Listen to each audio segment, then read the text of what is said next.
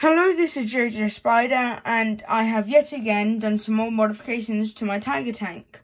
So, before there used to be no stick here, but I put one that says 13 on it. So now it's now the Tiger tank. It's now the Tiger tank 13. And then we just got the ladder and stuff, and then on the turret we've got this little box where he can just look for some stuff. He's meant to be like a mechanic and stuff.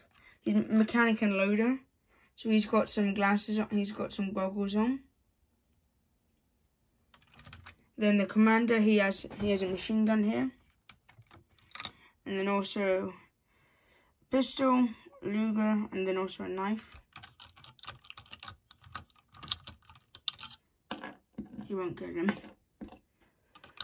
So then at the front we have the radio operator there driver, the radio operator has his machine gun. So if any enemies come close or he just needs to, he just fires that off. And there's a shovel here now, some leaf like camouflage. They've also got this new rope, plastic rope that goes across here.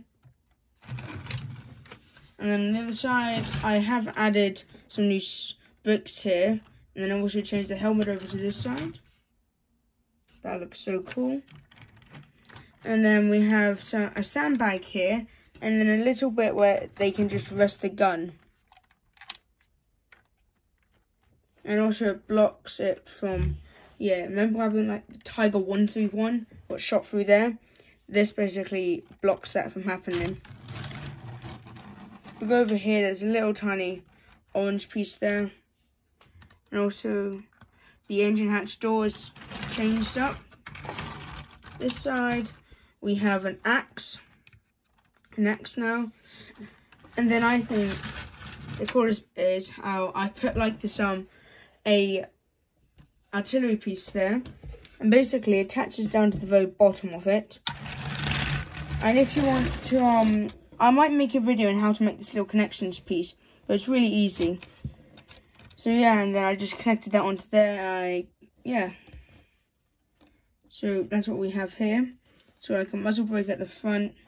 It's got some weird bits on here. And it can actually come off if you just like push down on like that. There's one bit off. There's the other. You can actually use it and then it's just got this like flappy bit here. And on it, it's got some German. Oh, it's upside down. Yeah.